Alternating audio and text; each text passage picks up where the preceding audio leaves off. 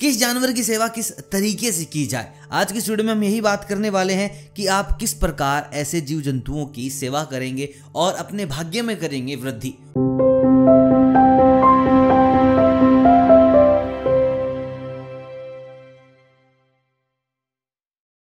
हमारे धर्म, हमारे संस्कृति में जानवरों का भी बहुत महत्व है। कोई भी पुराण उठा लीजिए या फिर हिंदू शास्त्र। हर किसी ग्रंथ ने यही कहा है कि भाई, जानवरों की सेवा करोगे तो आपको इसका बहुत बड़ा फल मिलेगा और आप कोशिश भी करते हैं। लेकिन मुख्य बात यह है किस जानवर की सेवा किस तरीके से की जाए। आज की वीडियो में हम यही बात करने वाले हैं कि आप किस प्रकार ऐसे जीव जंतुओं की सेवा करेंगे और अपने भाग्य में करेंगे वृद्धि। उससे पहले मैं आपसे कमेंट में पूछना चाहूँगा कि आप बताएँ, आप किस जानवर की सबसे ज़्यादा सेवा करते हैं? चलते हैं हमारी वीडियो की और सबसे पहले हम बात करेंगे चीटियों की। तो मैं आपको बता दूँ, चीटियों का भी अपना अलग महत्व होता है। और आपने देखा होगा कि दो तरीके की चीटियाँ होती हैं। एक लाल चीटी होती है और एक काली। जो लाल चीटियाँ होती हैं, वो अशुभ होती हैं और जो काली है, उनको घर के लिए बेहद शुभ माना जाता है। अगर आपको लगता है कि आपके घर में काली चीटी घुस गई है तो ठीक है, लेकिन लाल चीटी जब आए तो मान के चलिए आप पर कुछ ना कुछ खतरा ज़रूर होगा। और हमारे हिंदू शास्त्रों में कहा गया है, चीटियों को अगर आप खाना खिलाते हैं, आटा डालते हैं उनके लिए तो ये बहुत बड़ा धर्म है। आपकी अकाल मृत्यु से आपको बचाता है और आपके भाग्य में वृद्धि करता है।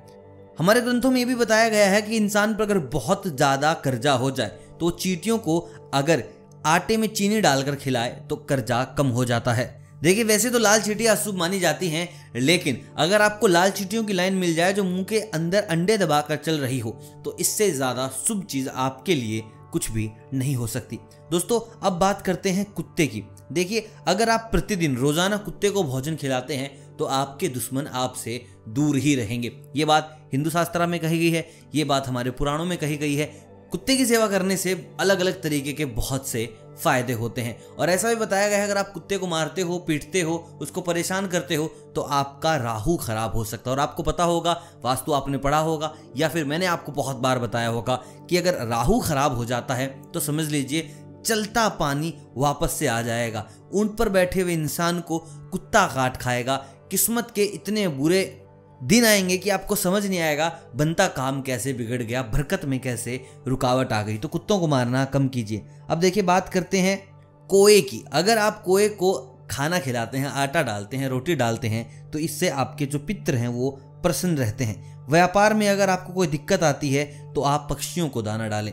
जितना पक्षियों को आप दाना डालेंगे, समझ के चलिए, उतनी ही बरकत आपको अपने व्यापार में मिलेगी। और देखिए, अगर आप सफलता चाहते हैं, ज़िंदगी में वृद्धि चाहते हैं, आप चाहते हैं कि लोग आपको जाने फेम अगर आपको चाहिए तो आप मछलियों को आटा डालने लग जाएँ। ऐसा करने से आपकी जो किस्मत है, वो दमक उठेगी। दोस्तों, अंत में मैं बात करना चाहूँगा गाय की। देखिए, गाय को पहली रोटी खिलाना बेहद शुभ माना जाता है। ऐसा कहा जाता है कि अगर आप गाय को प्रतिदिन खाना खिलाते हैं तो आपकी ज़िंदगी के सारे कष्ट दूर हो जाते हैं। आपने जितने पाप किए हैं, वो ख़त्म हो जाते हैं। तो गाय को खाना खिलाना बेहद शुभ माना गया है। और आपने देखा भी होगा, बहुत से घर ऐसे हैं जो गाय पालते हैं सिर्फ़ उसकी सेवा करने के लिए। कुछ लोग ऐसे हैं जो दूध निकालते हैं, बेचते हैं, लेकिन कुछ लोग बस सेवा करने के लिए पालते हैं, क्योंकि उन्हें पता है गाय का कितना बड़ा महत्व है। दोस्तों, ये वो जानवर है जो आपकी ज़िंदगी बदल सकते हैं। और जो मैंने बातें बताई हैं, वो भी ध्यान रखिए, उसी तरीके से आपको इनकी सेवा करनी है। अब जल्दी से बता दीजिए कि सबसे पहले आप क्या करने वाले हैं और कमेंट में ये बताएँ कि आपको और किस जानवर के बारे में जानना है। डेफिनेटली इस वीडियो का पार्ट टू भी बनाएँगे और ये वीडियो अगर पसंद आया हो पार्ट वन पसंद आया तो लाइक कीजिए शेयर कीजिए सब्सक्राइब कीजिए बेल आइकन दबा दीजिए ताकि अगली अपडेट आपके पास बिल्कुल सही समय पर पहुँच जाए। मिलता हूँ बहुत जल्द, तब तक आप सभी को अलविदा।